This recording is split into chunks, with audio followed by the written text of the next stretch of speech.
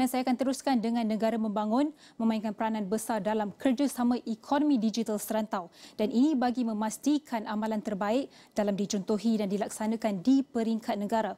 Digital Cooperation Organisation antara organisasi yang menggerakkan kerjasama dengan negara ahli dalam konteks ekonomi digital. Laporannya bersama editor Najib Arif. Okey, di World Economic Forum ini sudah pasti tumpuan digital itu adalah secara besar diberikan. Sejak beberapa episod yang lepas dalam Niaga Awal ini kita membawakan tentang AI dan juga beberapa perkara yang lain. Tapi juga kita ingin melihat bagaimanakah trend ekonomi digital khususnya diangkat dan juga dibawa ke peringkat yang lebih tinggi dan juga untuk memahami perbezaan antara Global North dan juga Global South dalam konteks tersebut kerana perbezaan adalah berlaku. Tapi apakah yang perlu dilaksanakan dalam konteks kerjasama? Itu yang ingin saya bincangkan pada episod pada kali ini. Saya bersama dengan uh, Secretary General Digital Cooperation Organization, uh, Dima Alia. Yahya. Uh, thank you so much for joining us. First well, of all, let's talk about yeah, let's talk about the organization itself. Uh, what do you do and your members? Uh, I, I, believe your members is from GCC countries and also South Africa. Can you explain about the organization? Uh, definitely, the Digital Cooperation Organization has been established three years ago. Uh, the objective behind establishing the organization is to help and support accelerate digital transformation. Uh, we're very proud that we represent 15 countries right now mm. from Asia, Europe, and Africa, representing representing 800 million in population.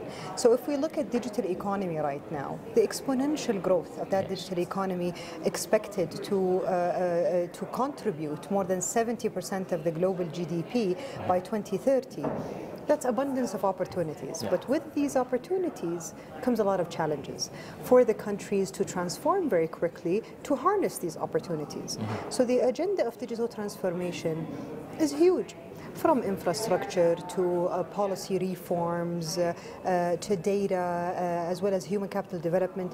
No country alone yeah. can do all of that transformation. Uh, so therefore, they need a lot of investment and a lot of support, consultancy as well. DCO is the platform to bring in governments, private sector and civil society to co-create and co-design that transformation. Why reinvent the wheel?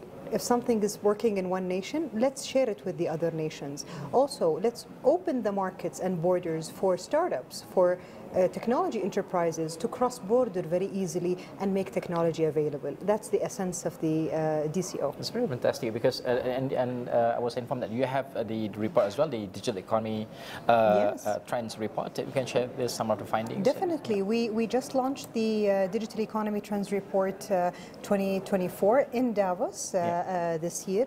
This report is very unique. It touches not only on emerging technologies, but also what are are the fundamental trends in digital economy as a whole. So we look at uh, uh, six main trends uh, and we go in depth in these trends and we provide the recommendations for not only governments but also private sector on how can they address these trends and how can they get the best out of 2024. Uh, these trends that we have been, uh, that we identified and we have recommendations on goes from AI to cybersecurity uh, to green economy as well as digital reality. We look at smart ecosystems as well, and most importantly, trust economy as well. Mm-hmm. What are the challenges for these countries? Because under your organization, for example, we mm -hmm. have diverse countries with different background yes. and different understanding of AI, for instance, and different infrastructure in that sense. But what are the, some of the challenges highlighted from uh, by uh, the organizations, mm -hmm. and how do these challenges being discussed and also you know, addressed by your organization? Very good question.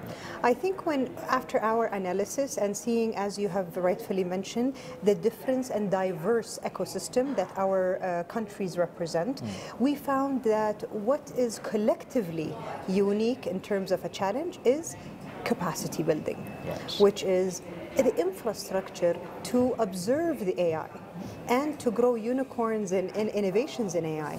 So therefore, we have been working uh, heftily with our member countries to create the right infrastructure in terms of uh, either hardware when it comes to supercomputers or also chips as well, and also what are the solutions that we can make available to AI professionals in our member countries to start creating IPs and local content and commercializing that IP. Mm -hmm. uh, one of the main challenges uh, faced by many of the startups around the globe actually Yeah. uh, the financing. And we're talking about uh, uh, uh, alternative financing as well. Yes. from, especially from the global south area right? But how do these kind of things being discussed by organizations not just discussed i'm pretty sure this has uh, that, that's something concrete being discussed and also being uh, done by the organization when it comes to financing and understanding the need of financing to support the startup uh, Oh, from these countries. definitely. yeah. Um, you know, we look at it from another angle, which is how can we enable the startups not only from a financing perspective, but also from the ease of doing business Yes. and expansion. Uh, uh, the startups can go, can, in, in one nation cannot grow only independently. They have to expand to reach to more consumers for them to grow uh, and return economically on the on the nation. Therefore, we have been working on several initiatives like the Startup Passport, which eases that expansion, as well as a unified Startup Act between our member countries that will help and support uh, uh, that digital trade uh, very easily between countries. When it comes to financing, this is where we help and support in connecting the dots. We bring in the financial institutions and we make the make them available for our uh, our startups. We're very fortunate that our members uh, collectively we have more than 3,700 startups, and uh, enabling them means a fruitful and uh, um, and uh, increasing uh, prosper digital economy going forward. Yeah, in Malaysia we have this debate about creating more unicorns, Of unicorns course, sense. But of course. from the 3,000 numbers that you mentioned just now, how many, or in terms of percentage, you can share that's going to reach to that uh, unicorn level? We see great potential. Uh, we see in um, uh, as our our uh, analysis, we see 11% of the number that we have is uh, on the track of scaling uh, and becoming unicorns if we provide them with the right support and, and the right help, either from a, uh, a regulation and policy perspective or the financing, or also uh, uh, enabling them with the technology and the human resources that they need. Um, we see countries, uh, the likes of uh, Nigeria, where all Africa has seven unicorns. Uh, five of these unicorns come from Nigeria. We see Saudi Arabia, who last year just alone announced two unicorns, and they are the first in, uh, now when it comes to um, uh, venture capital. Uh, so we do see that traits. We truly believe that our member countries are in the right track when it comes to growing their technology and innovation startups. Yeah. As of for Malaysia, we have only one unicorn, and we will we would like to have, I think, five by uh, for the next few years. Maybe we can learn something from the organization as well. Uh, last but not least, you have 15 countries under your organizations, and you plan to add more countries, especially from uh, Southeast Asia, I believe. Oh, definitely, Yeah. definitely. We would love also any like-minded nations that are willing to contribute as well as willing to, to, to transform as well. We are open to discuss. Definitely Malaysia is one of them. Uh, we are talking to ASEAN and having partnerships also with organizations like ASEAN and like other global organizations. All right, Dima, thank you so much for joining us. I know you are Dima is so busy. We tried to get her yesterday, but she is only available today. Thank you so much. I No, really thank you appreciate for your having time. us. Uh, itu adalah bagaimana kita melihat uh, teknologi ataupun uh, ekonomi digital dan juga organisasi seperti ini amat penting kerana kalau kita bergerak secara bersama, ini kita bincangkan dalam banyak sesi dalam jenawan dan sebagainya.